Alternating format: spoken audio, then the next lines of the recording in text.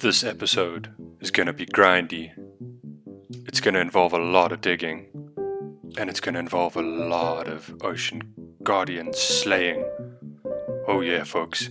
We're going to make some serious, serious, serious, serious, serious progress at our slime farm. Or at least that's the goal. Hello and welcome back to another episode with me, Gaz the Grey, on Nihilum. Last episode we left off, we had done, or we had actually begun our ocean draining process, and we basically did a couple of lines of sand and glass. Very super exciting. In this episode, however, we're going to start things off by heading over to an ocean monument so that we can gather some sponges to make some more progress at the slime farm and hopefully get that thing drained. Let's get straight into it. We are ready to go guardian slaying. As you'll take a look, I have got a whole bunch of potions of water breathing and potions of night vision to make our lives a little bit easier so that we don't have to keep resurfacing. And finally, we actually managed to make ourselves some rockets because we're going to use our elytra to get there because we could finally put mending on it. Although we don't have too many rockets, it should be more than enough for our purposes.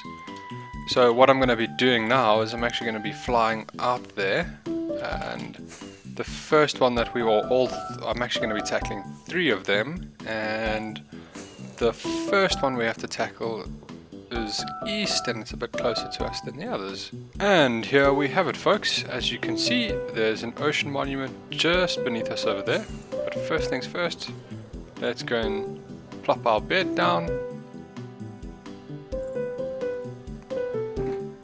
and then get straight to it. Drink some on the go like a pro. So I believe the first one. Uh, uh, uh. So one thing always useful: put down some blocks, break their line of sight, and then they don't actually end up damaging you. So let's. Whoa! There's a lot of them.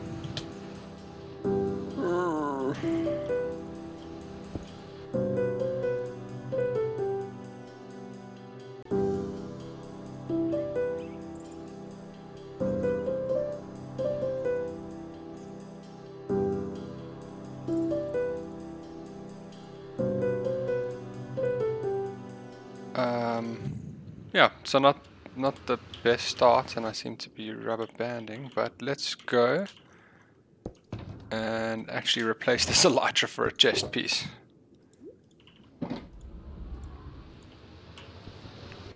Uh, and of course, yeah, should have brought some milk. anyway.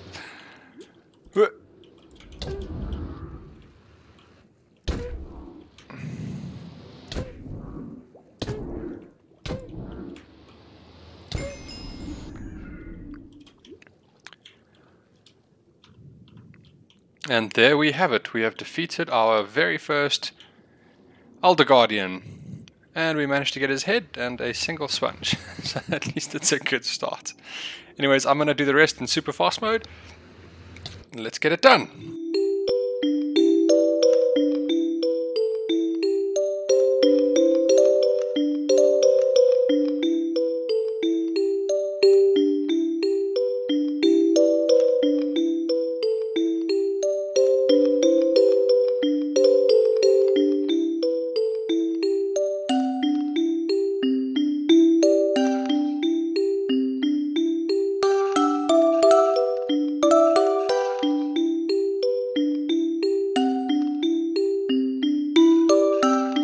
Alrighty then, as you could probably tell, we managed to get all three Elder Guardians sort of down, but like a noob, I forgot to bring with me one of the most important things, and we needed quite badly some milk.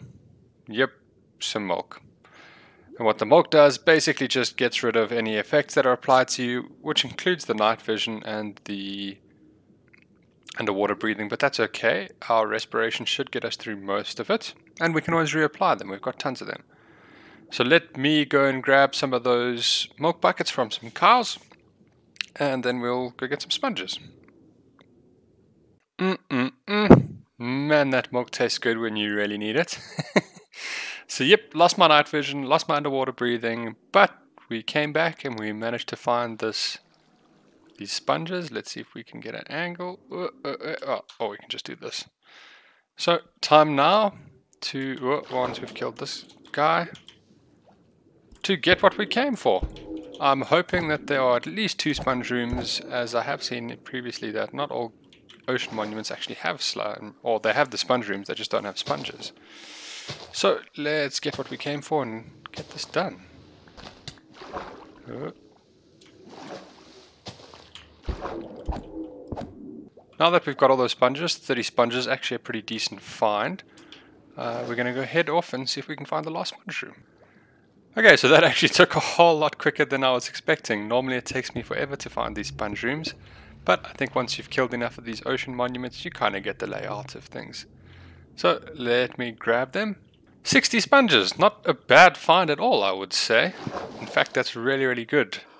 I cannot complain. Maybe we only need to tackle another ocean monument. Only being, or reason being because, yeah, slightly greedy, I suppose. I would rather have more sponges and not have to run back and forth between furnaces or the nether to dry them. And just dry them out, or just have more, yeah. Maybe get a whole row at the slime farm done at once. Anywho, next on my list is to go and tackle a, another two ocean monuments. I'm going to do it anyways. So, I have a feeling that we have found one of those monuments that I was talking about, which does not have sponges. Not a problem. Uh, we got just under two stacks, so I think it's time to head home. Alrighty, let me get back to the slime farm where we can start setting up and draining the farm. Just quickly before we head off to the slime farm, wanted to show you, there's all the sponges we managed to got. We managed to kill 9 Elder Guardians, as you can see here by their heads. So it did pretty well, considering we only used six potions and three milk buckets. I feel like a pro. Returned we have. Not quite sure what happened there. Anyways, we are back at the slime farm, ready to start draining some of that ocean, I suppose. We also managed to just go and grab a couple things from the base, grab a furnace, some coal, so that we can start work on getting these sponges dry. So what we're basically going to do is just set up a tiny, teensy weensy little auto smelter, nothing too fancy, almost exactly the same as the one we have in the base, but obviously just half of it basically.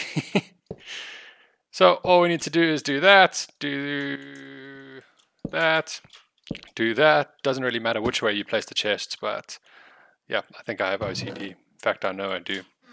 Get some coal in there. Thankfully, we actually have a multiple of 8, or a fraction of 8, whichever word that is. Multiple of 8, yes. So we should use a perfect amount of coal without any wastage if we chuck all those sponges in.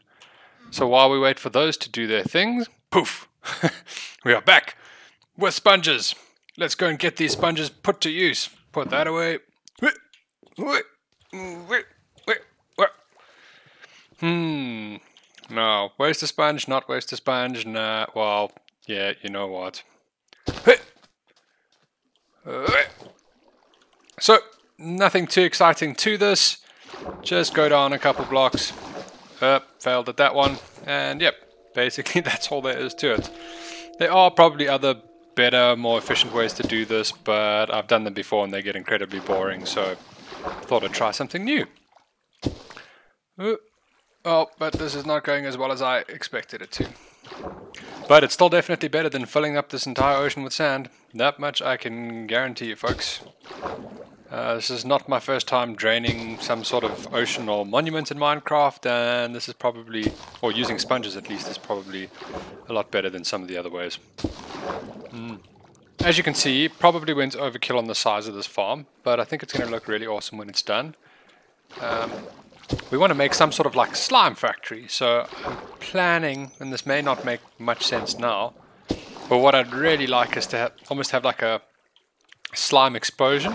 Like there's just so much slime being pumped out that it's gone into the ocean and you know, basically you don't even need to go down to mine it. You can just pick it away at the blocks that have sort of come out from it uh, at the top. But obviously you don't want to spoil too much of that, so we'd like to show you the bold ones if I think it's more of a if. No, no, no, it's a definite. We'll, we'll finish this farm. And we'll show you that final product then. Let me get to it. I'm going to put you guys into a aerial view so you can get a much better sort of eye on what I'm doing.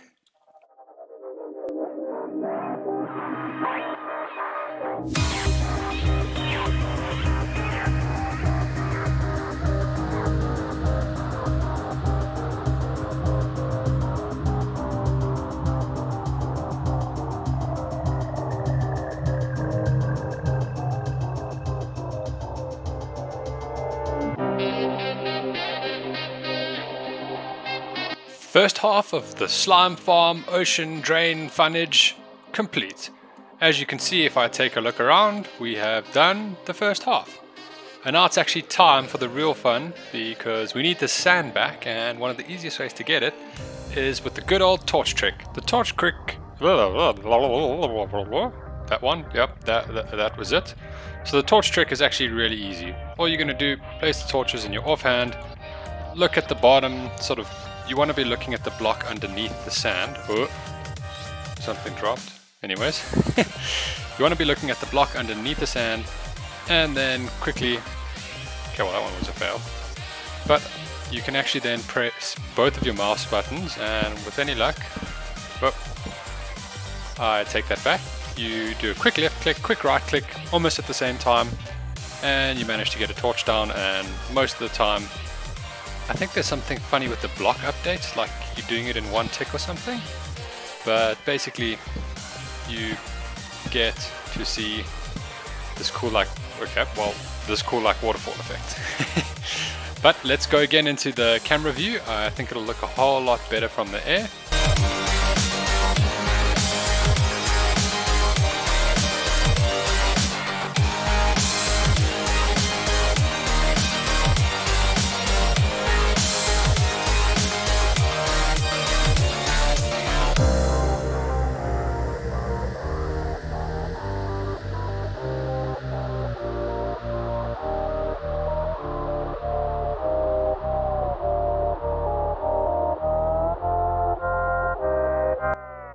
Hello?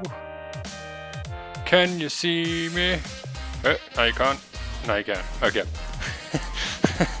oh lordy, sometimes I wonder at myself, but uh, anyways, it's good to have a laugh every now and then.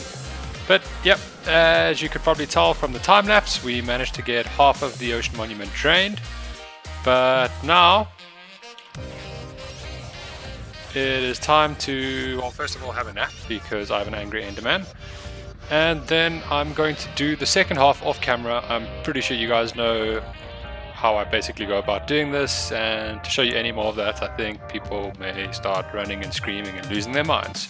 So let me get to that and I'll be back once it's empty.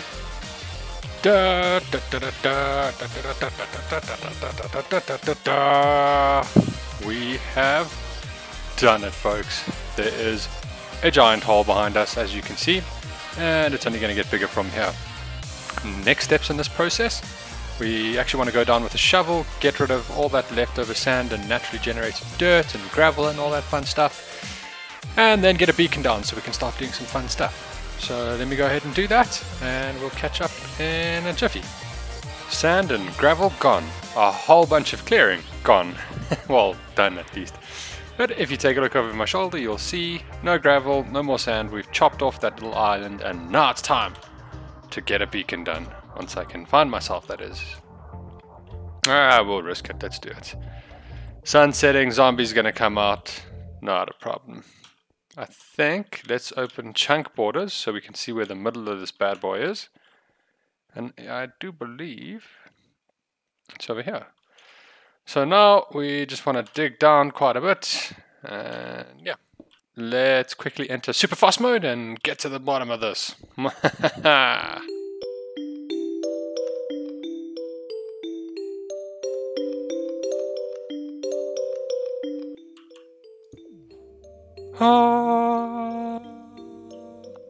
Man, don't you just love those sounds that the beacons make? Uh, I think it's also just a magical moment because you know you're gonna get some of these sweet, sweet effects. Oh yeah, wait, wait, come on, give me the. Oh yeah. Oh yeah, that's beautiful. Man, I love Haste II. Anyways, let's get back up to the top and see what we can do and start flattening some of that land. Ooh, so excited. Uh, uh, uh, okay, the spider's coming. Let's go. Let's get out of here.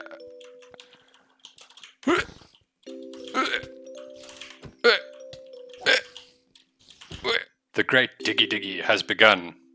Take a look over my shoulder, folks. This is quite a process. That's already been like two or three hours worth of digging just to kind of get some sort of flat land. And if we actually go down, you will see that I've sort of bordered with an extra layer of this white concrete. And basically, I really think it stands. It's going to stand out really nicely with this lime green. Uh, eventually, we'll include some slime in it as well, because like we said, we're going to have a slime factory, and we want slime to be oozing out and you know like taking over basically. So the slime is going to contrast with this white really nicely, but it does mean that I have to dig out an extra layer or an extra row on every single side, which is not ideal. But you know what? What's that going to mean in the greater scheme of things of this giant dig? So what we're now going to quickly go and do is I'm going to hop over to my camera account and do some more digging and let you guys see what it looks like from the top.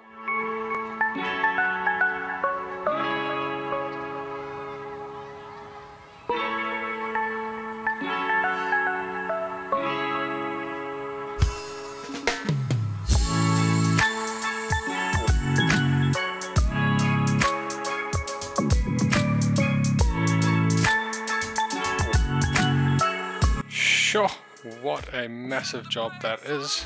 I'm not going to lie, it takes it out of you and it, take it, up, it takes it out of your tools. I actually went through three mending pickaxes, which in between clips I actually had to go and yeah, fix them up. So quite a bit, what, three pickaxes a layer, and I still actually need to do that bit at the back.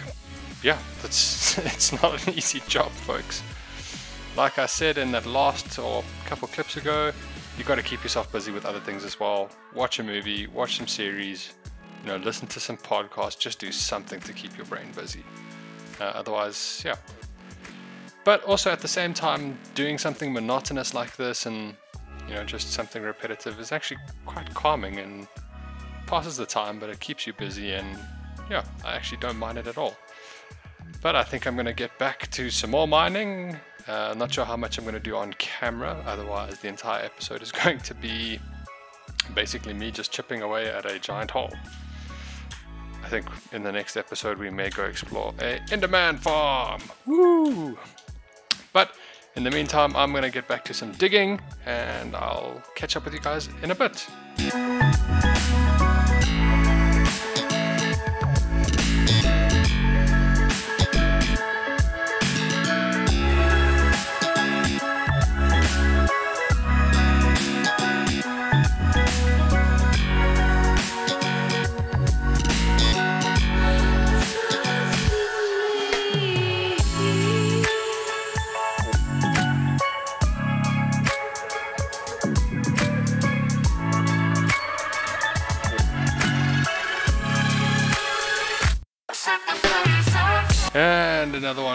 Dust, ladies and gentlemen. We did an absolute ton of digging there. So in total now we have basically done two layers and obviously what was left over at the top.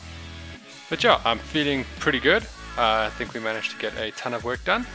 But I think that's where we're going to call it for this episode, ladies and gentlemen. Thank you so much for tuning in to another episode with me, your host, Gaz the Grey.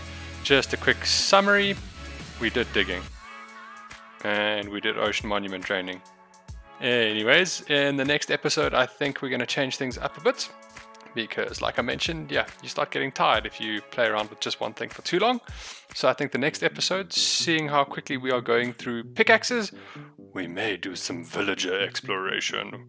Ooh.